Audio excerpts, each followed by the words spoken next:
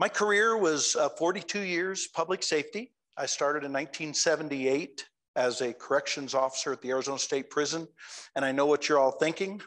That young man started in 1978. Uh, it's been a, it's been a great career, but I tell you, uh, being faculty here at Yavapai College has certainly been a highlight of my life uh, to take on the program directorship of the Administration of Justice Studies. In the, um, the work that I've done with a nonprofit called the National Center for the Prevention of Community Violence, it brought me into contact with Esther Chang.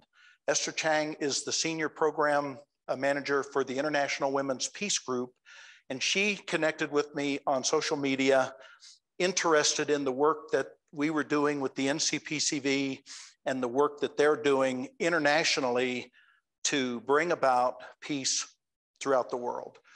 And um, certainly struck an interest with me because our goal with the NCPCV is to interrupt the process of violence before it becomes an event.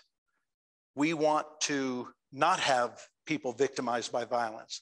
And if we can achieve global peace, community peace, individual peace, I believe we can change society as a whole.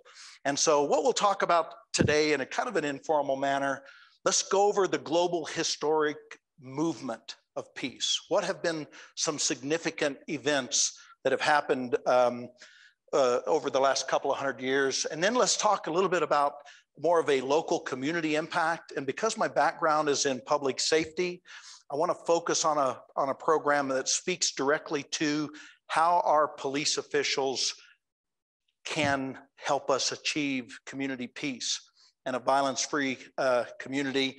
And then let's talk about what we can do as individuals. That's what uh, hopefully over this next 50 minutes we'll cover. And certainly if you have any questions or comments that you wanna add, there's a lot of experience in the room. I don't have the market on peace. I get it. Um, but all of us certainly can, can add to the conversation. So uh, just to kind of kick off and begin, uh, one, of the, one of the things about peace in my life is I've got 13 grandkids.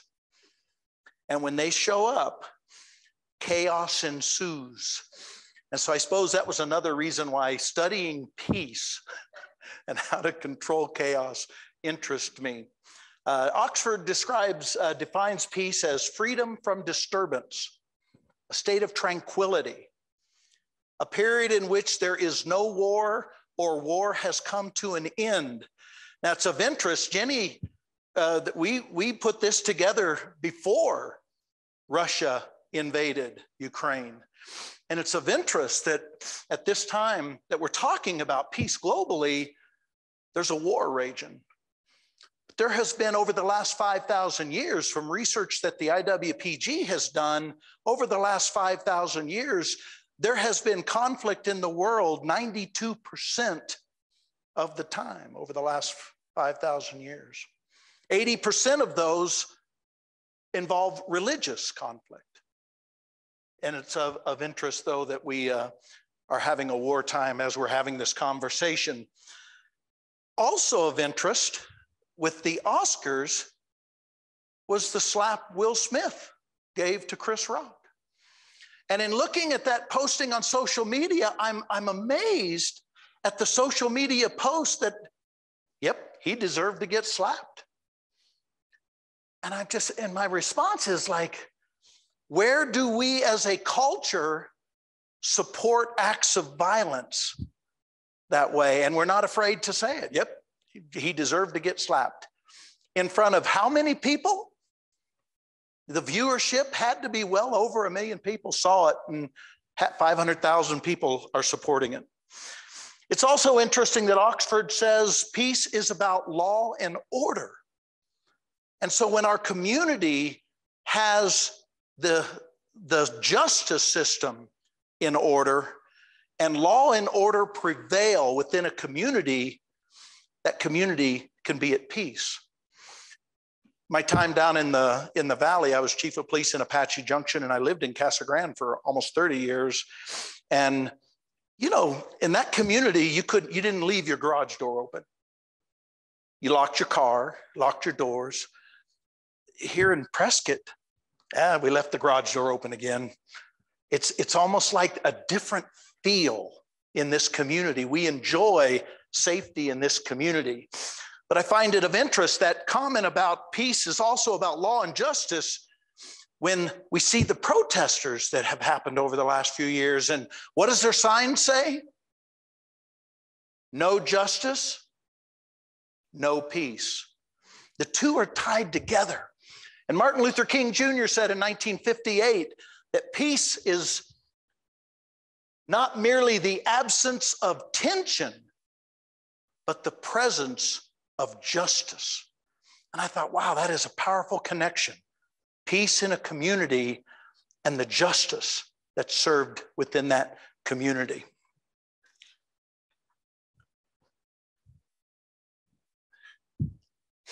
All right, so let's look at some historical landmarks to kind of lay some foundation here. And, and there's a lot out there of individuals and organizations that were involved historically in the peace movement. I've focused on a few. In 1828, an individual by the name of William Ladd, he began talking with the local peace societies in New York and Massachusetts and some other states, and he was able to pull them together in 1828 to form the American Peace Society. And what was significant about what they were doing at that time was they actually saw the value of getting elected officials to create peace resolutions. They wanted to legislate peace through these resolutions. They circulated petitions to pull in other citizens to the work of local peace. They also organized peace conferences. And I thought, oh, wow, man, I've enjoyed going to conferences. But in 1828, they had peace conferences. I wonder what kind of swag they gave out. Joni, what kind of swag do you think they gave out? It had, had to be cool stuff, right? Uh, you can probably find some of it in the antique stores today. Um, they also published a periodical called The Advocate of Peace. Now, fast forward to um, another individual named Benjamin Trueblood. In 1899, he wrote a book called The Federation of the World. He drew his material from this book on the work of William Ladd in this idea of creating global peace. His comments surfaced, surfaced at the Hague Convention in 1899. And the idea that this peace society that was created in 1828, those uh, principles begin to surface in world conversations. And the idea of a international body was surfacing and gaining strength. And then we saw in World War I, at the end of World War I, the League of Nations came forward. Now, this was actually the brainchild of President Woodrow Wilson. He produced a speech, we had 14 points, and it was his idea that we pull the nations together on the principle that war cannot happen again. And I'll read the principles here in a minute. But of interest in the League of Nations was um, the United States never signed on to it. 60 other countries bought into it. It was Woodrow Wilson's idea, but he could not get the political backing from, uh, from our own legislators. And part of it was because they were worried about the United States losing the autonomy to govern itself in 1919. But some of the principles there was the idea of disarmament, prevent war through collective security, settle disputes between countries through negotiation and diplomacy, and improve global welfare, understanding that these forces are some of the conflict points that come about within societies. Next up was the United Nations. At the beginning of World War II, when Hitler pulled Germany out of the League of Nations and they started moving down the path to war, um, the United Nations came about at the end of that. And again, Franklin Roosevelt, our president, had a huge part in the original creation. 50 nations signed on to the original charter in October of uh, 1945.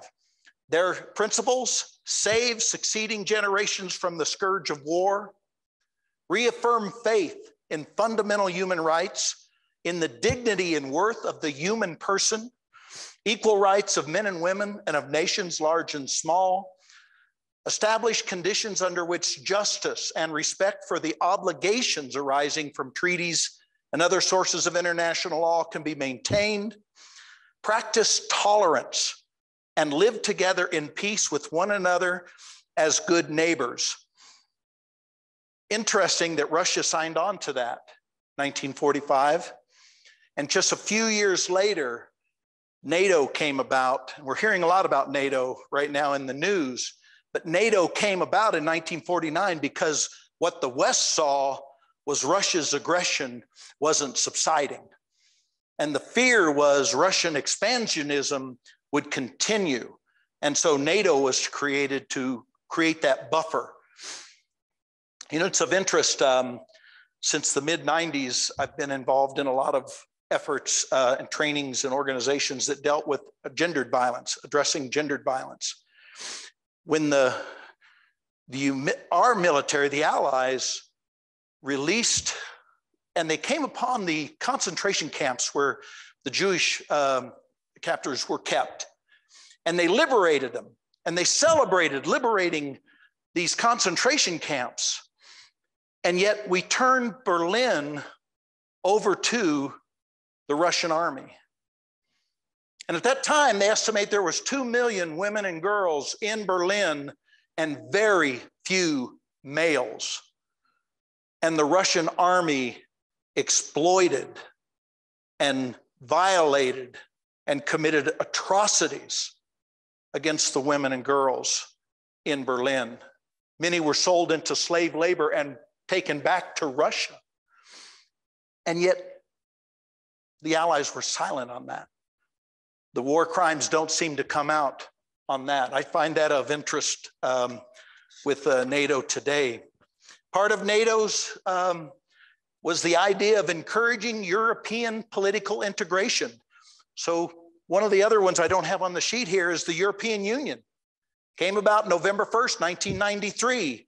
Respect for human dignity and human rights, freedom, democracy, equality, and the rule of law, promoting peace and stability. These international organizations, multi country organizations, all had the ideal that we come together for collective security, which will result in peace. That was like the bottom line of all these efforts. How do we create global peace and come together as, as one? In the work that I've done with the International Women's Peace Group, I learned of the HWPL, in 2013. It stands for Heavenly Culture, World Peace, Restoration of Life. A Korean gentleman by the name of Man Lee is the chairperson. Their goal, establishment of an international law of peace, religious unity, and peace academies throughout the world. They prepared a document called the Declaration of Peace, Cessation of War, in 2015. And let me share with you some of the principles of that document.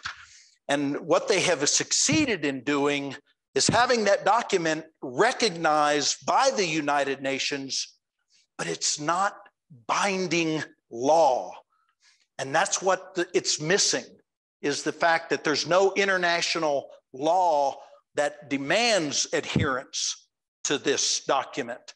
But here's what the document says acknowledging that all members of the human family enjoy human dignity and equal and inalienable rights, that these rights represent a necessary tenet of the preservation of freedom, justice, and peace throughout the world, aiming to maintain international peace and security and determined to pass it to successive generations, an invaluable inheritance of a world free of wars, and the need to facilitate peaceful coexistence among the world's religions, beliefs, and ethnicities.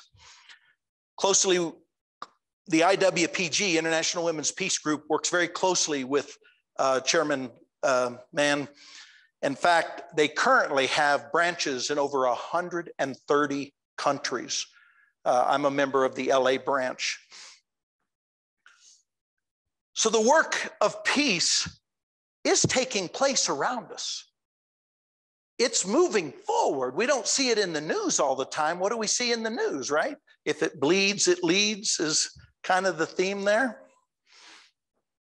One of the things I'm very proud of, and uh, Dr. Andrews is here with uh, the Respect Campaign, is we will soon, in September, on International Peace Day, we will have our own peace pole right here on our campus. There are over 200,000 peace poles in the world, and almost every country is represented. This came about in 1955 from an individual in Japan, and his inspiration was may peace prevail on earth. This currently is the project is housed now with the World Peace Prayer Society, headquartered in New York. They are an NGO recognized by the United Nations. And uh, I think our day is coming up on September 21st. And um, the art department is actually creating our peace pole, if, if I'm the students, yeah, are creating our peace pole. What what a wonderful expression. But when we talk about symbolism, we, we have to think about symbolism. There's one other project I wanted to mention to you because uh, I've had an opportunity to visit Vietnam and I'm going back here uh, in the very near future uh, to work, do try to do some work with the University of Hanoi. But I came across this peace trees project in Vietnam. There's a province that was when the war was raging, the no northmost province of South Vietnam, uh, Trang, I think is how you pronounce it, it was so heavily bombed. They estimate that more ordnance was dropped in this one province than all of World War II by the Allies. And so to this day, they are recovering ordnance through this Peace Trees pro program. Based out of Seattle, Washington, it was founded in 1995. Uh, the lady's name, excuse me for not remembering that, Geraldine Brusseau. She was the sister of a US Army pilot that was killed in Vietnam. But she created this opportunity to go back there and begin to do this work. And here's what they've done to date they have cleared almost 5,000 acres of land. They have removed and destroyed. Now, these were unexploded ordnance. 136,000 unexploded ordnance have been removed to date, benefiting almost 300,000 individuals. They have educated on explosive ordnance risk education almost 200,000 people, including 4,300 students that attend kindergarten. They have been able to support 215 victims and 62 families that have been affected by accidental explosions in that province. They've given out 3,200 scholarships. They've built 20 kindergartens, 12 libraries, two community centers, and 100 family homes. And they have planted over 44,000 trees within that province. That's real work. That's real work. And what's so exciting for me is we were, we were at war in Vietnam.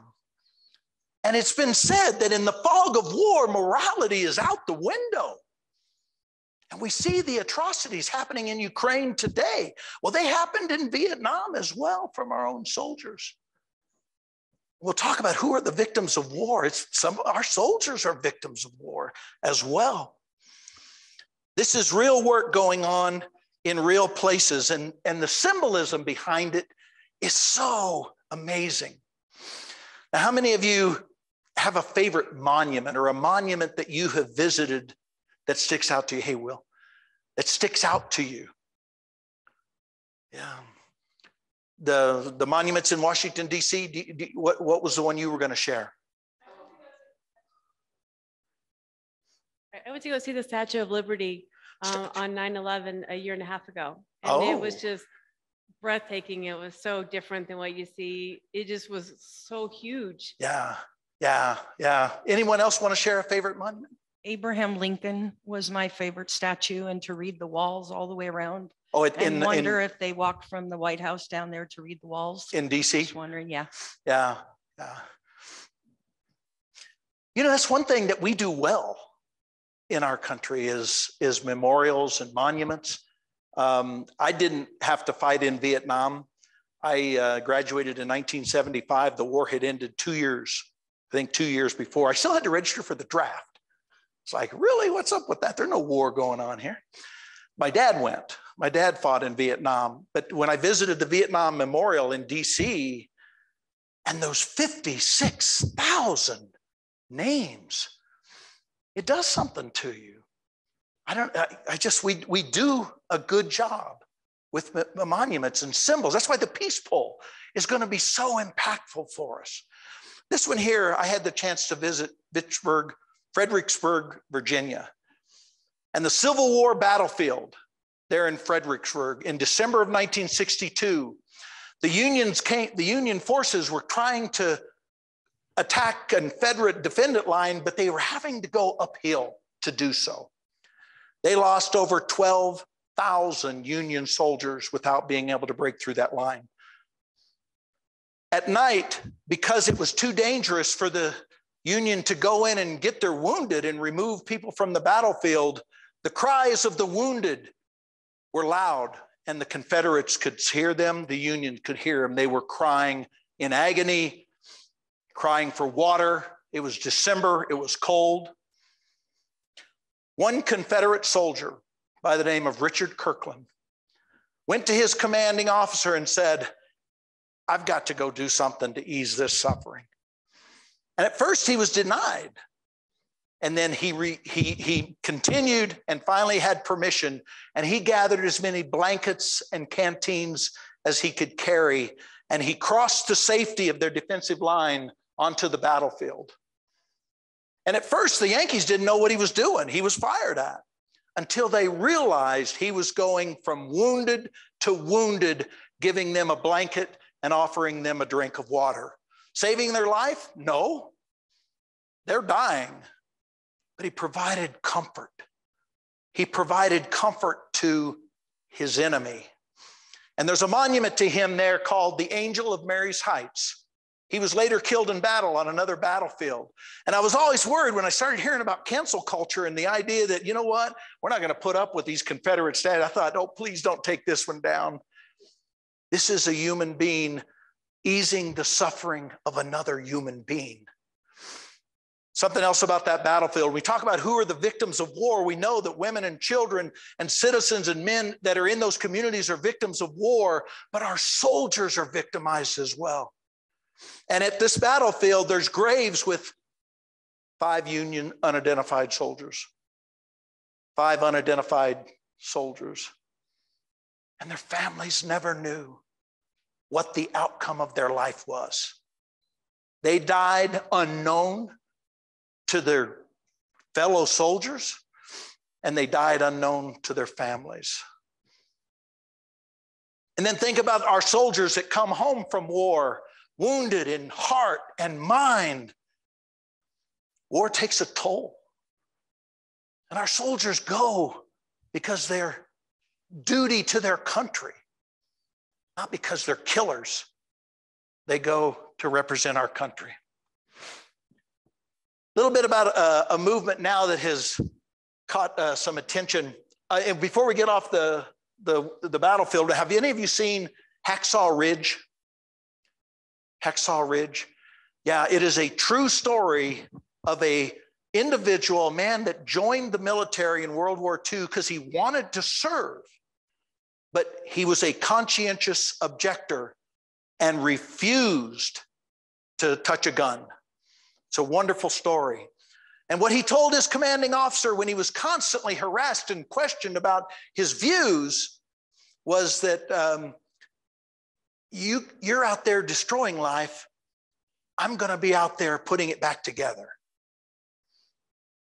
True story. He's accredited unarmed on the battlefield with saving 76 US soldiers' lives because he stayed on the battlefield and got them to safety where they could get medical attention. 76. He is the first conscientious objector to earn the Medal of Honor in our country. It's a wonderful story, a great movie if, if, uh, if you get a chance to see it. So, this here is all about the idea of police officers and the idea of police officers having a mindset of peace. One of the things that works against, hey, James, feel free to jump in anytime there. James Tobin, one of the finest officers I've ever had the pleasure to work with and uh, played a big role in my coming to Prescott to begin with. So thank you for being here, James. If a, if a police officer can have the mindset that when they arrive on that call for service, their goal is to bring calm to chaos. Their goal is to bring a solution to seemingly no solution in a conflict. Now, having said that, we understand that there is chaos. Sometimes officers go in the middle of the night to pure chaos. Uh, one scene I was on in my younger days, um, a domestic call. I get there, and I was a young officer, didn't have all my tactics in order yet. So I pulled my police car right in front of the house, right? Well, the male of the house comes out the front door and has a long gun, and he aims it right at me. I crawl back through the front seat to the other side of the, the car. And then I was able to pull my gun and we were pointing our guns at each other. Finally, he drops his gun, runs back in the house. Me and my partner run into the house chasing him. And we're flipping furniture around in the front room. And the whole time we're doing this, his two children are running around us saying, Let go of my daddy. Let go of my daddy. It's pure chaos. But the mindset that we as our police force isn't this warrior based occupying force. Instead, they're the guardians of peace within our community. And the majority of time that officers spend on their shift is in direct communication. Arizona Post did a survey of officers and found 90% of what we do is talk to people. And we work for solutions. We bring peace to chaos. And that's, that's what's going to take in some of these communities for true police reform to happen. We can't defund the police. Come on, really? We can fund other things to support public safety. Public safety has to exist, but we can also own some of the mistakes that we've made in policing when we've decided we are an occupying, an occupying force. Now, in some community, we're fortunate here in Yavapai County. Uh, I think the community at large supports public safety. They appreciate the police that are here. And uh, I'm thrilled to live where I live. But that's not true in every community. There's a lot of discontent with police forces in some communities. Things like no knock search warrants. Can you imagine you're in your home, and typically a no knock search warrant is done at night? You're doing whatever you do in your home, and all of a sudden your door gets kicked in. I mean, that in my mind is a perfect setup for a conflict. And so that's something that I think we in policing have to look at. Can we adjust our practices to avoid these unfortunate conflicts and tragedies. And I think there's certainly room for that. But the perception in some of these communities is that the cops are killers, is that the cops are bad, that they're corrupt. And we know that there's bad apples in every profession, even in libraries, huh, Mike? You know, probably not many. yeah. Art departments, right, Randall? I mean, you know, some of the artists out there, you know how they are. Um, Anyway, here's some pictures from uh, what has been happening. And when you think about what do police do, we react, we respond.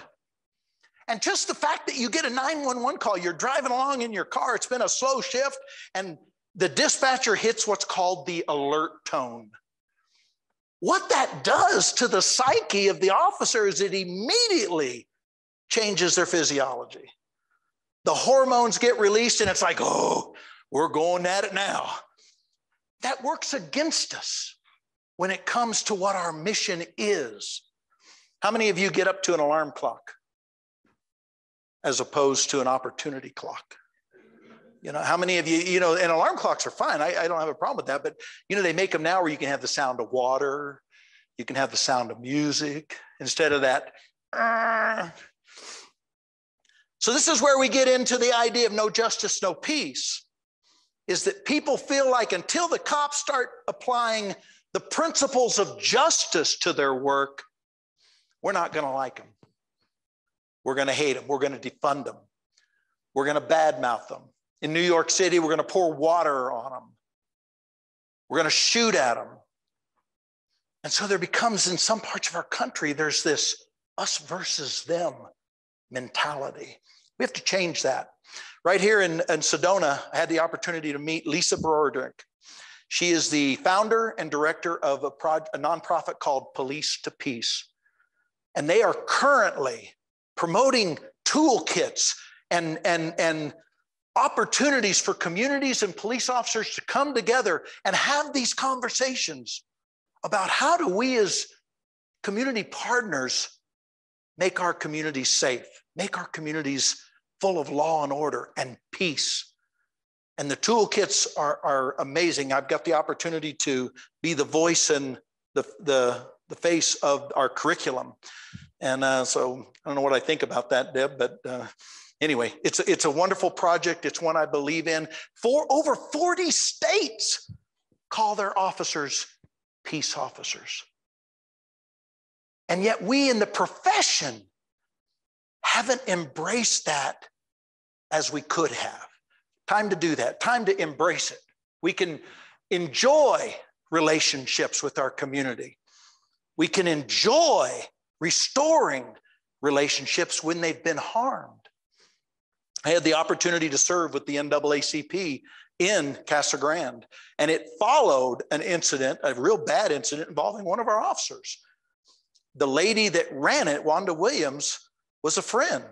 And at that meeting where we were talking about the incident, they called for saying, We need people to gather and be a part of this so that we could open lines of communication. It was a wonderful experience. Wonderful experience. Facilitate peace in the community. Our police officers need to be the leaders at this. Need to be the leaders at this. Know the resources available in our community to help others. It's what we as a community want from our police. We want protection. We also want good service. Years ago, I had an opportunity to call the Phoenix Police Department. I think my, my I bought a car for my son, and it turned out to be a fraudulent title. So I'm calling Phoenix PD, like you know, well they were in the pro- they were in the practice of hiring retired cops to answer the phone. So retired cop answers the phone. Yeah. Yeah, sorry, that's civil. Can't help you.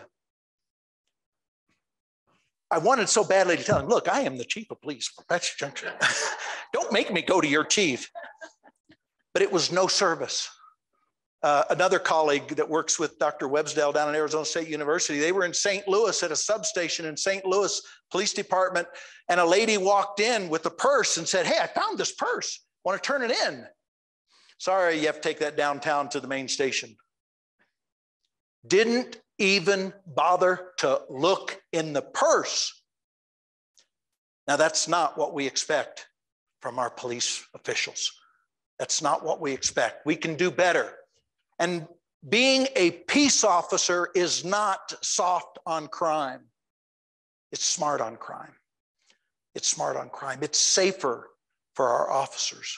When I lived in Casa Grande for 23 years, I was a police officer there. I never worried about bumping into somebody that I had arrested because we treated them with respect.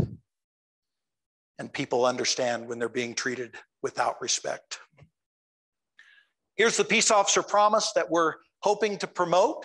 It's just a simple promise that says, while in the process of doing our job, we recognize we're not Our, our best intentions are to do no harm to the community, to do no harm. Now, are the cops going to make a mistake every once in a while?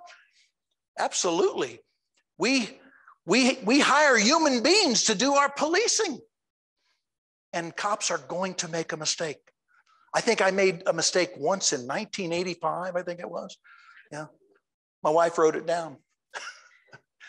yes. Uh, wasn't it? I don't know how to use this. Wasn't it within the last two years that state police cars all were, were remarked to say trooper? Oh, State right. trooper, Yeah, yeah, which is a war concept, trooper. yeah. Yeah, eh, great, great point. And we think about imaging, right?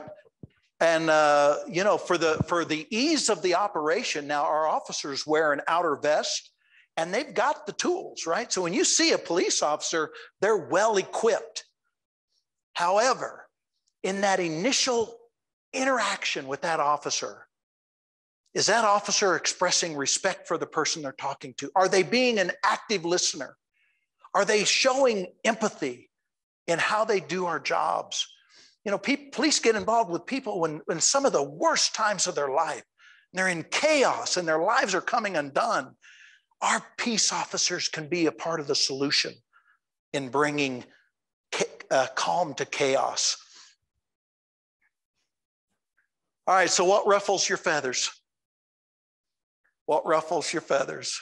I'm not going to ask you to share. I'll share one of mine. And I, I hate to admit this. You know those signs on the road that are suggested speed limits? Yeah, you know, it's suggested that you go, right, right. I you get behind people that are driving so slow. And it's like, I've got someplace to go. Will you move? So that kind of ruffles my feathers. It ruffles my feathers. Yeah. We all have things that ruffle our feathers. Don't don't give me that look. Don't give me that look. So I'm a person that highly respects police officers. I tell them thank you when they pull me over for not following one of those signs. And I, but the thing that's really ruffled me is you see time and time again, these police officers that are having these issues brought against them and nothing is done and they just keep more issues, more issues, more issues. So when we're fixing policing, police should be policing themselves, in my opinion. You have to follow all the laws if you're going to arrest somebody for not following the laws. And I just think that's important. That's what ruffles me about police is I think Yeah. we can do a little better there. Great, great point. Uh, and James and I would certainly agree with that. One of the movements that's happening right now is there's a big emphasis on officer wellness, on understanding the cumulative effect on our police officers of seeing the worst and the bad on a daily basis. When I was a young officer in Casa Grande, at the end of two years, I thought, what a nasty little town I'm living in. And there was a psychologist named Kevin Gilmartin from the Tucson Police Department that came up and talked to us. And he was able to show how that if you are not careful, you will quit seeing the good that exists. And what happened? My perception was this town is horrible.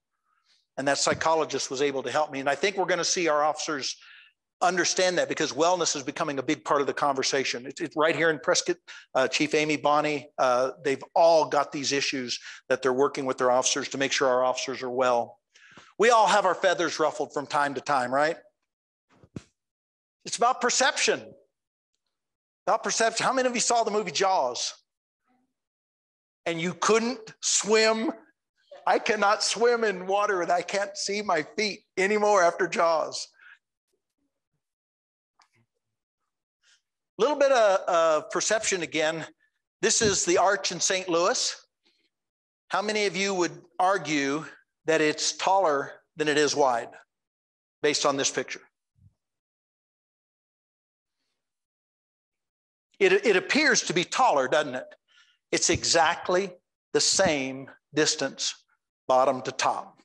But our perception, and the point of this is our perceptions can be wrong.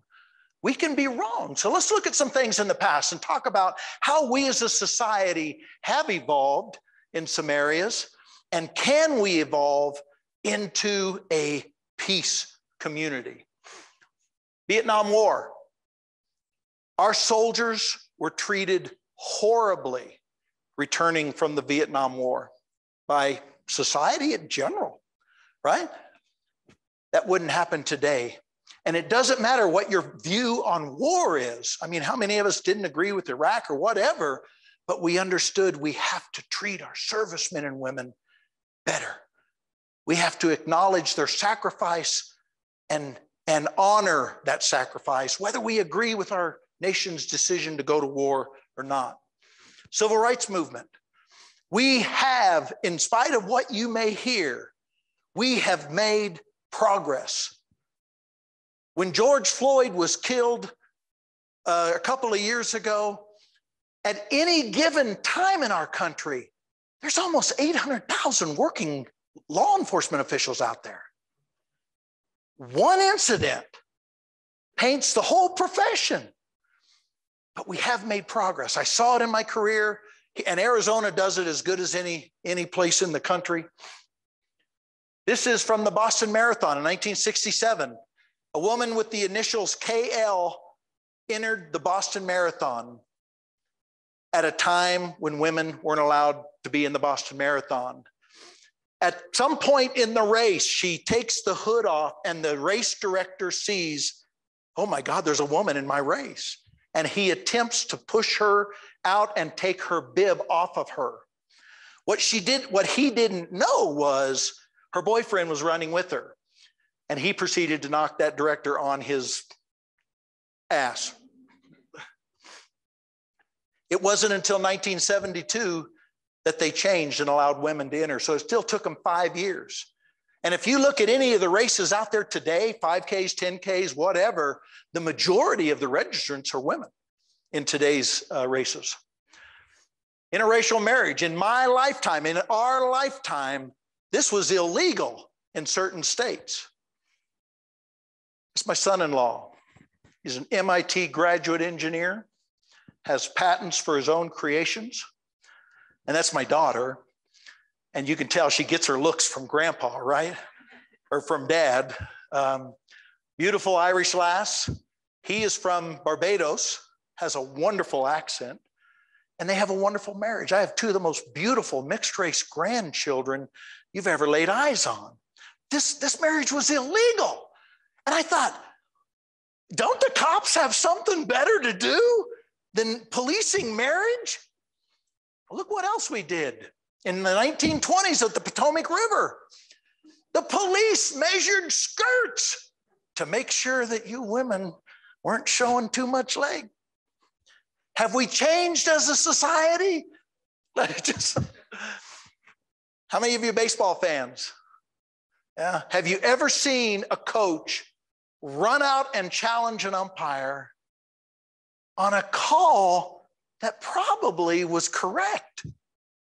What is that? What is that guy doing? What is that coach doing? He's putting the umpire on notice. I'm watching you. I'm watching you. The challenge with us in sports is how many times does that behavior represent violence or behavior that is modeled now for our young people, right? This is necessarily not so good. Hey, Alia, this is my granddaughter, Alia. She's a student here at YC and works at the bookstore. Hey, Alia. Who was the sponsor of the Flintstones in 1962? Not the creator. Who was the sponsor? I'm hearing cigarettes. That's correct. Winston tastes good like a. You'll find that on YouTube. They're singing the jingle, Wilma and Fred in their home smoking a Winston. That would be unheard of today. 1972, when we landed at Fort Huachuca, my dad's final duty station, as a 16 year old, I could buy a pack of Marlboro at the PX for a quarter. I bought a six pack of Budweiser at the PX at age 16. Unheard of today, right? We change as a society, we evolve. So, what are the superpowers of peace? Respect, civility, kindness. These are all the things we can hope to pull into our lives and practice. And one of the things I love about our campus is the idea of the outward mindset that we've adopted here at our campus. All of these things can morph into that because when we're thinking about these superpowers, we're focusing outwardly on other individuals. How does my behavior and how does my life impact you? And I had to learn the hard way that it's not always about me. And, uh, huh, Alia? Not always about grandpa, right? Right.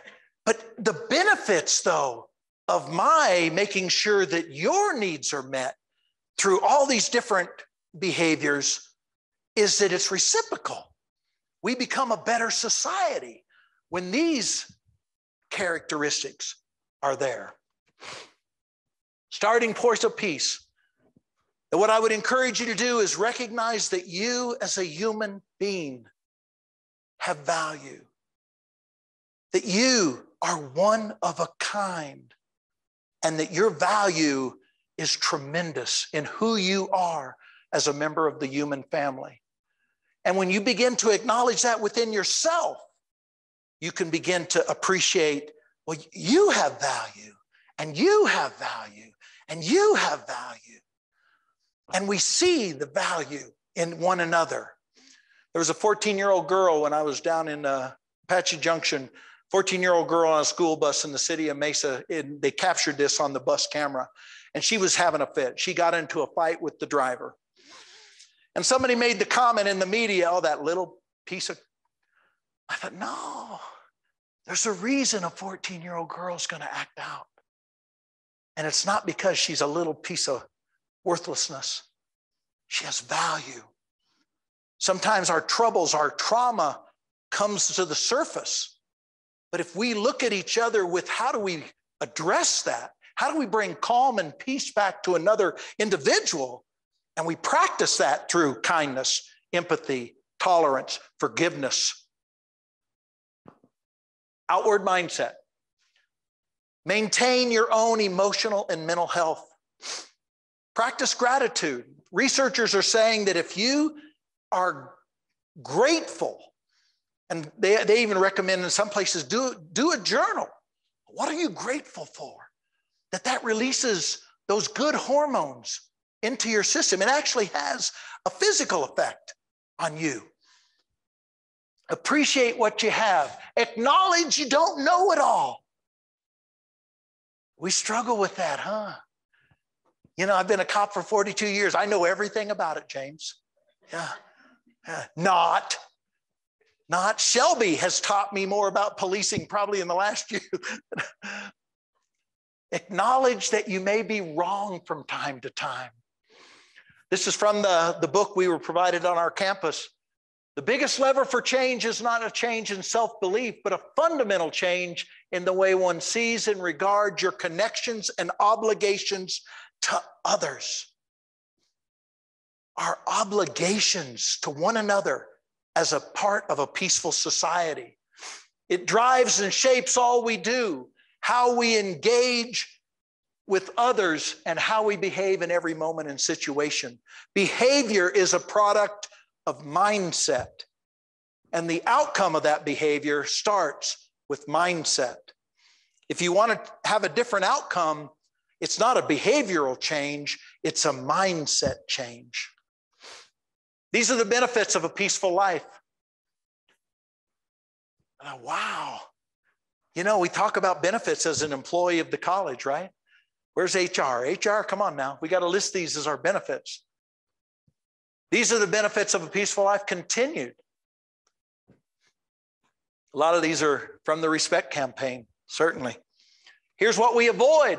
These are things we're in control of that we can avoid labeling, bias, judgment, criticism, defeat and failure, challenges. These are the things we can avoid by adopting a mindset of peace as an individual.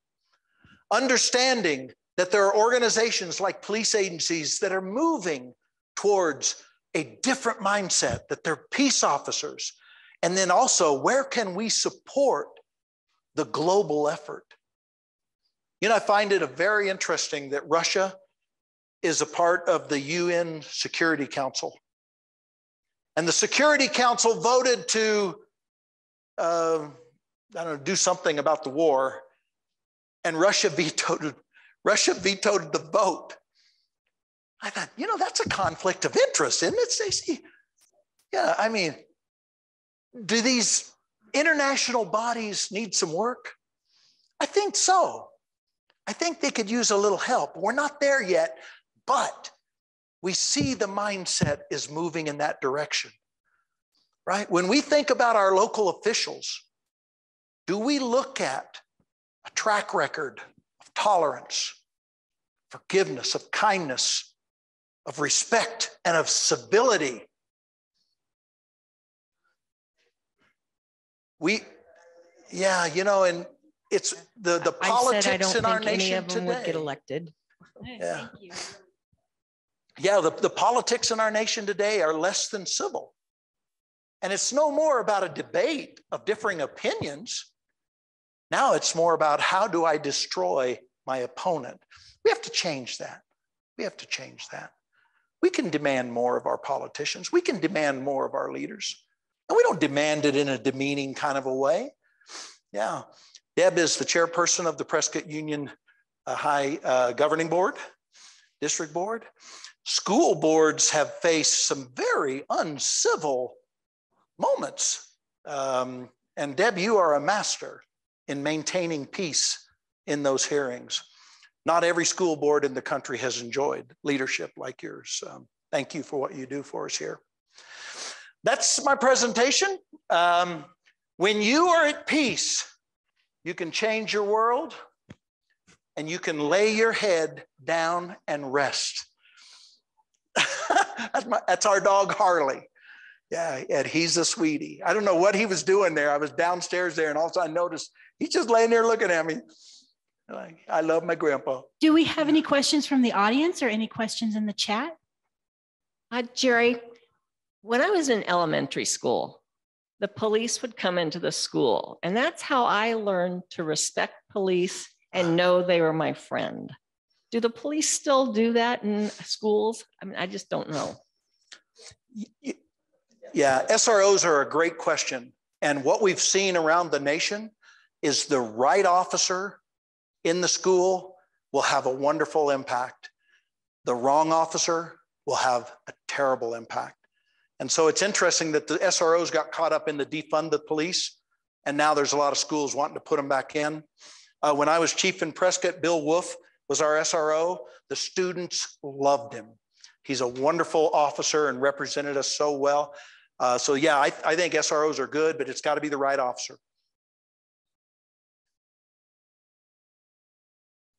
Thank you, Professor Monahan, for your presentation. I have a comment rather than a question. Um, I get very discouraged and very sad when I see the way that our culture and our society is. And what I really appreciated about your presentation was that, first of all, you showed that change can happen and that in recent years, change has occurred, and that's reassuring. Yeah. And I really also appreciated the strategies that you offered that showed how we can do little things to affect change. Mm-hmm. And it makes me feel that I can do little things and that I can contribute to creating a more peaceful community and hopefully a broader peaceful climate. And so, um, as usual, you inspire me, and I'm proud to call you a colleague. Thank you, Brandy. I appreciate that. Thank you. Little by little, increment, little increments at a time. Yeah. Are there any other questions? Then I'd like to say thank you to Jerald Monahan for coming here today.